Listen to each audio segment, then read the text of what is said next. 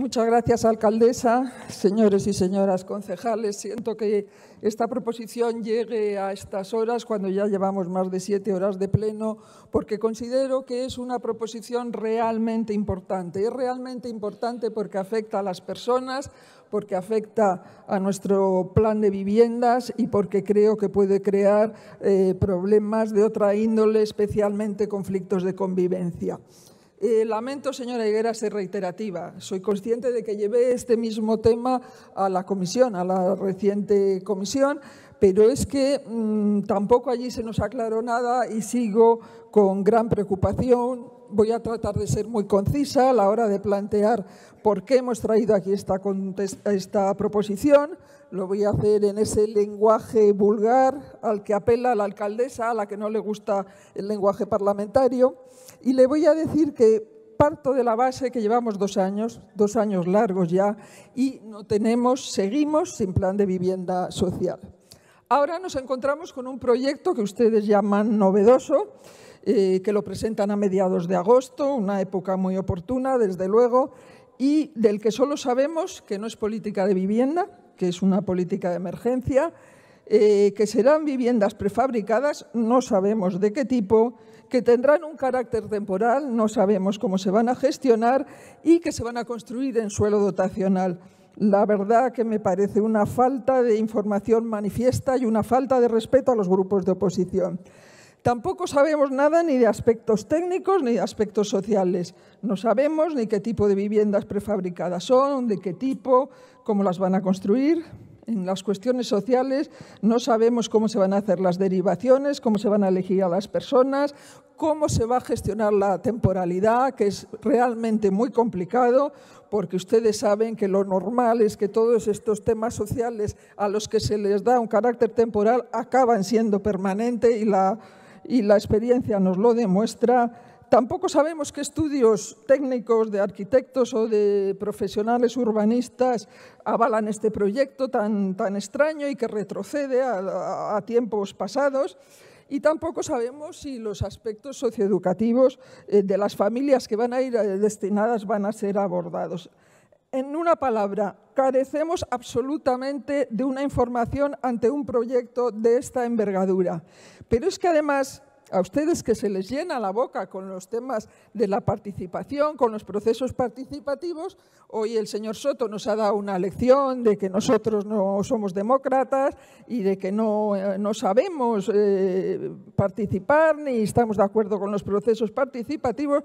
Pues resulta que ustedes, en un tema como este, señor Soto, que afecta tantísimo a las personas, a la gente más vulnerable, tal, resulta que ustedes no consultan con nadie. Eso no interesa, ¿verdad? No interesa eh, consultar. Ustedes eh, consultan aquello que les viene bien para reafirmarse ustedes mismos. Pero desde luego, cuando quieren eh, sacar adelante un proyecto sin ninguna explicación a nadie, entonces se acabó la participación. Yo de verdad no entiendo su forma de actuar.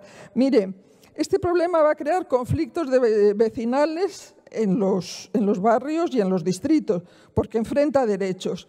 Va a crear guetos, no me cabe ninguna duda. Va a aislar a los más vulnerables y además me gustaría saber cómo se va a plantear la vida a los menores que habiten en esos eh, barrios. ¿Por qué no lo han consultado con nadie? Porque es que ni con los partidos, ni con los vecinos, ni con las organizaciones sociales desde luego, nosotros, para que quede bien claro y no haya ninguna duda con el lenguaje, le voy a decir que no estoy en absoluto de acuerdo con las políticas de concentración.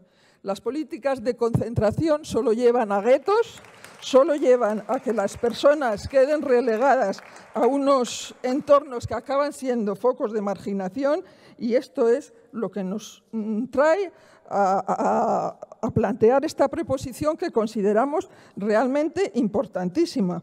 Yo, mm, independientemente de todo lo que le estoy planteando, de toda la preocupación que le manifiesto, porque realmente me preocupan las personas que van a habitar allí, eh, lo que le quiero dejar bien claro es que eh, si traemos esta, proposición no es para molestarle a usted, señora Higueras, ni por llevarle la contraria. La traemos porque de verdad consideramos que esto es un tema absolutamente esencial. Mire, señora Higueras, a mí me decepcionó y no me queda otro remedio que, decírselo, y es que usted acabó eh, su exposición en la comisión diciendo tengo derecho a equivocarme, déjenme el derecho a equivocarme. Y afirmó tajantemente, voy a seguir adelante, digan ustedes lo que digan. Mire, me parece realmente lamentable, lamentable que ustedes eh, digan que tienen derecho a equivocarse, porque mire, con estos temas que afectan a las personas, los experimentos no se hacen. Los experimentos hágalos usted con gaseosa y no favorezca la concentración en los barrios. Mire usted, tanto que hablan del diálogo, tanto que nos dicen que hay que escuchar, por favor, escuchen a todos los grupos. Han conseguido ustedes que todos los grupos de oposición de este ayuntamiento estemos de acuerdo.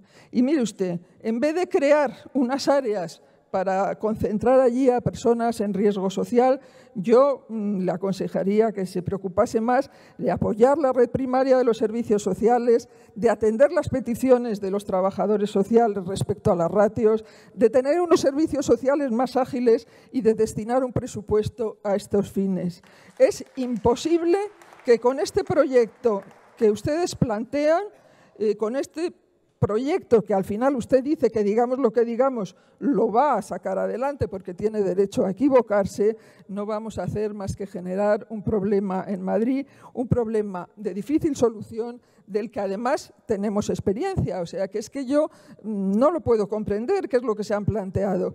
Eh, hay eh, experiencias como las uvas de hace pero años y años, pero es que en tiempos más cercanos ha habido otro tipo de experiencias y aquí tenemos concejales como la señora Sabanés que ha vivido lo que fue la Rosilla, que ha vivido lo que fue la Quinta, que ella misma, una vez que fuimos a visitarlo, dijo, no quiero entrar en este, en este poblado. Es que yo no puedo comprender cómo hemos hecho este mm, retroceso hacia unas soluciones que, que, ya están absolutamente obsoletas y que no conducen a nada. Mire la concentración tanto en horizontal como en vertical, ha fracasado. Y lo hemos visto, y lo hemos visto en el Ruedo, y lo hemos visto en la Quinta de Fuencarral, y lo hemos visto en Plata y Castañar, y así podría seguir enumerando. Muchos de ellos los he visto y los he vivido personalmente. Por tanto, eh, yo lo que le digo es que se lo replantee, que piense que estamos hablando de un tema muy serio, que estamos eh, ante una política de vivienda y que la, la, vivienda es un elemento esencial en la vida de los ciudadanos y que por favor tengan, eh, tengan capacidad de diálogo, intenten desde luego oír tanto a los vecinos, partidos políticos como instituciones. Muchas gracias. Muchas gracias. Sí, muchas gracias alcaldesa, antes que nada, y tras oír a la portavoz socialista plantear que nos ha hecho tres eh, enmiendas a esta proposición que desde luego aceptamos.